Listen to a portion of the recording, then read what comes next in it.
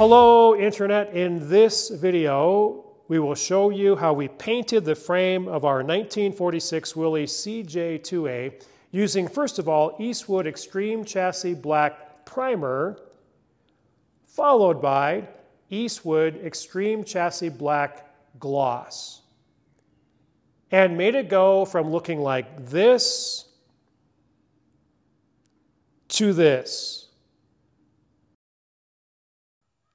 Keep watching. So here I am spraying the chassis black primer. Even though it is a rattle can, the application was very smooth. The width of the spray fan was about six inches, which was nice. It sprays on with a gloss look, but it dries flat. These cans are slightly taller than a normal can of paint and are 14 ounces full. I wasn't sure how many cans to purchase.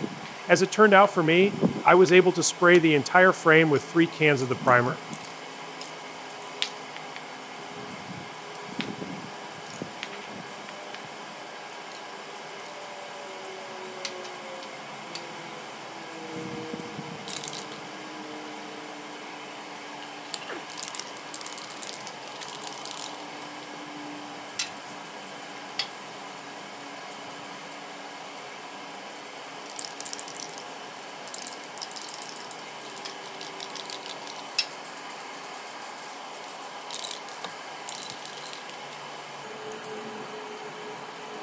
After waiting about a half hour, I applied the Extreme Chassis Gloss Black. Like the primer, it sprayed on nicely.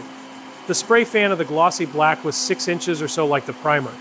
Like other rattle cans, I had to stop from time to time to shake the can, but no big deal. Like the primer, it took me three cans of the Extreme Chassis Glossy Black to paint the entire frame. Even though I wished I had prepped the rear differential a little bit more, I was very pleased with the Eastwood paint and how it turned out. I had zero runs, which doesn't always happen.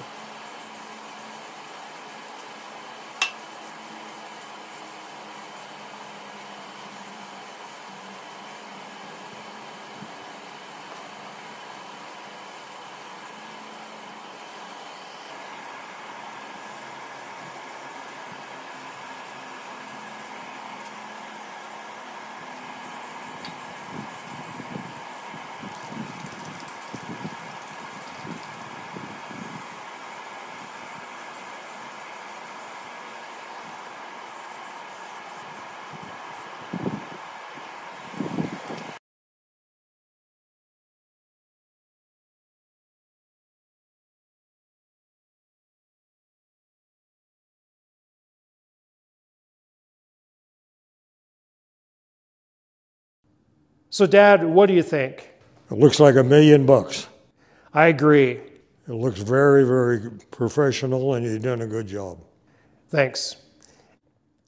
Now, Eastwood is not sponsoring this video, even though I really like the Eastwood products. But the overall Jeep project is being sponsored by Kaiser Willys Auto Supply. You can get 10% off by using the discount code SGarage upon checkout for any item at kaiserwillys.com with the exception of tubs and tub kits and tires. Hey, we hope you enjoyed the video. If you got any value at all from this video, please give us a like. It costs you nothing, but is of great value to us. And we will see you in the next video. Okay? Okay. Now, this is good stuff.